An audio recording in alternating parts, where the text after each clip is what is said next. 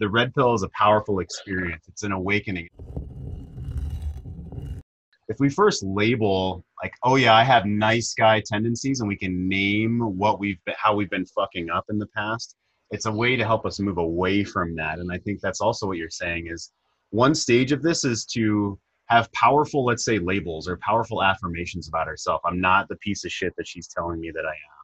Right? I can have my own power from within. I can have a different mindset on life. I can move toward loving myself and loving other people instead of the judgment of what comes after the words red pill quite often is red pill therefore she acts this way i need to control in this way is really how the conversation goes quickly right so so cynthia let me ask you uh, in your own you've done men's work you've worked done men's work class within university you've done men's work for years now you're a coach for men what do you see as those stages of them breaking away like owning their own self and then the next stage as david deida would say the second level of how do i get along in the world and then that third level of I can bring love into the world. I can honor myself from the inside. I can feel myself from the inside. Like we talk about here as far as the spiritual mindset that we believe. This in this tribe we believe we source ourselves from the inside, that we don't validate from the outside. So what have you seen in relation to Jason's story about men who start this work and need maybe that identity or that label to break forward in their life? Tell us about that.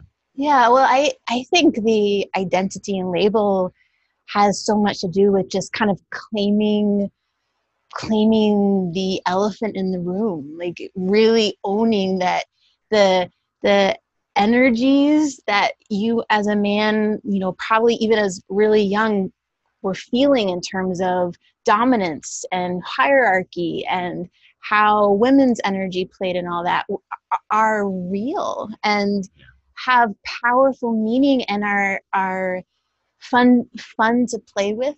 Um, so that first stage, I think, is just like kind of claiming and owning that, as opposed to, you know, trying to stuff stuff it down in the box that culture or a woman or someone has said this is wrong, bad.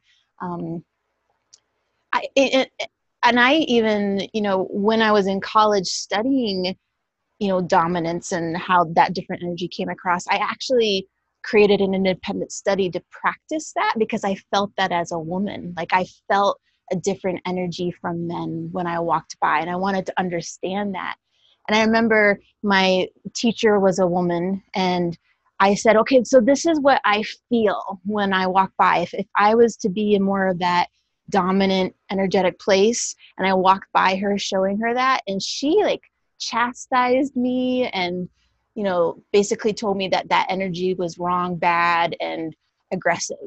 And so i think that is in that our culture so much so it's first owning that and then identifying what you truly want and how you want to use that energy.